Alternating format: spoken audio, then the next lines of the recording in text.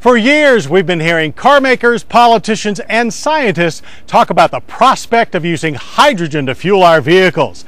After all, hydrogen is all around us. It's in the plants, it's in the water that we drink, and it's even in the air we breathe. But while it seems that the promise of hydrogen is always just five years away, hydrogen powered vehicles are actually on the road right now, and other sectors are ramping up to use this clean fuel as well. So we felt it was time to take a snapshot of the hydrogen fuel landscape to see what's here now and what's coming just over the horizon.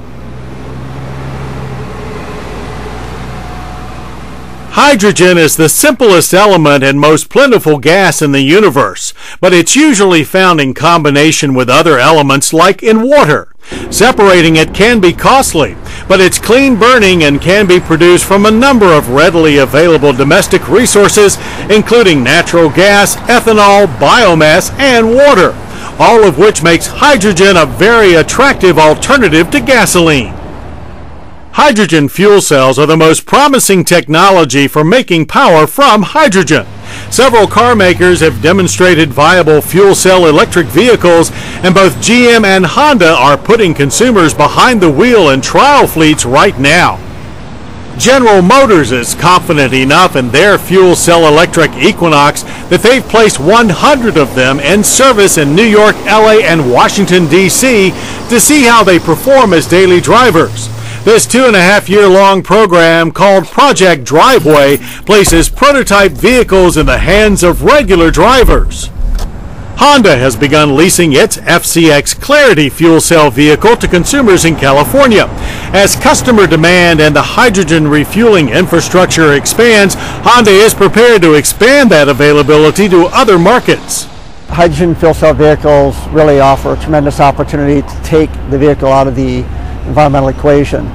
You know, zero carbon emissions, zero smog emissions, and you know, zero dependence on oil. So we're on a pathway.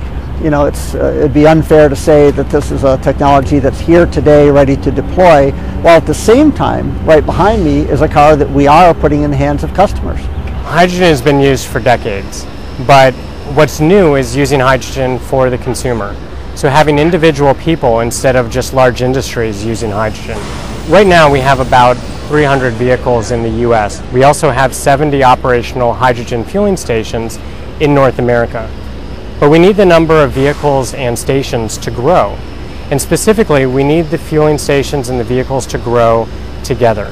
The chicken and egg problem, where, where you've got no infrastructure and you've got no end users using the product because both are waiting for the other to exist. Aside from fuel costs, the lack of a refueling infrastructure is perhaps the biggest hurdle to widespread use of hydrogen as a fuel. For one thing, developers are finding the station permitting process is being bogged down by a lack of knowledge.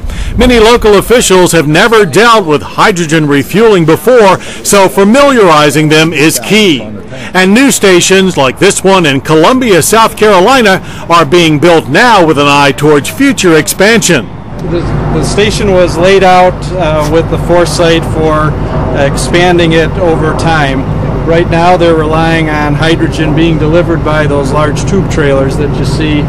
Eventually, they have provisions to add an electrolyzer so they can produce hydrogen on site from water. Uh, and then also, there's utilities and uh, space arranged for an on site natural gas reformer so they can produce uh, hydrogen from natural gas as well. Another great platform for the use of hydrogen fuel is with buses. Their size makes packaging of bulky components relatively easy. This bus was built in Golden, Colorado. It's going to be here in Columbia, South Carolina for a year for some testing, and then it's going to be open for passengers to ride on uh, sometime between August and September. This is uh, all electric. It's got batteries underneath you, uh, right underneath the floor, and it's got two fuel cells in the back, which recharge the batteries on the roof, much like a um, compressed natural gas bus. You have hydrogen tanks that feed the fuel cells. Hydrogen fuel cells make sense in a number of off-road and stationary applications as well. And not surprisingly, the U.S. military is leading the way in their development.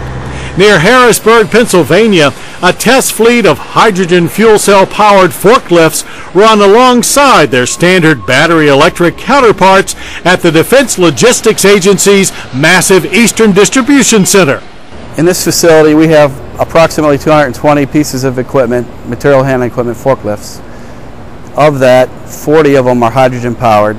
Inside the building, we have two dispensers. There's a very limited amount of hydrogen in the building at any given time. Most of the piping is run external to the building right up until the dispensers. Our fire department was very heavily involved in this. They went with us to different facilities to see and learn to make sure that we had a safe installation that was a prototype for the rest of the Department of Defense.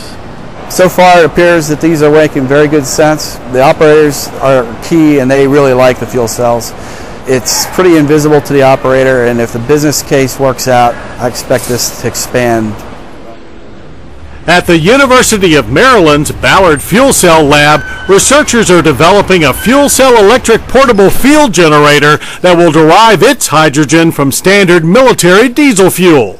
We're working here on an industrial government academic collaboration to develop uh, proton exchange membrane fuel cells for various applications. Our principal research area here is to develop the technology and the, the systems that are needed to enable these types of fuel cells to operate not only on hydrogen but on liquid fuels as well. The fuel cell system also offers advantages beyond just the efficiency. It's cleaner, the emissions are lower in terms of NOx, in terms of carbon monoxide, and, and also it's quieter. And from a military perspective, or from even a, an application such as an RV, that's a, that's a big benefit. So, to those who say hydrogen fueled vehicles are not ready for prime time, we say look again. While work continues in the areas of catalyst materials, cost effective hydrogen production, and infrastructure development, the technology of fuel cells is rapidly advancing, and the reality of a hydrogen highway is getting closer to our own driveways every day.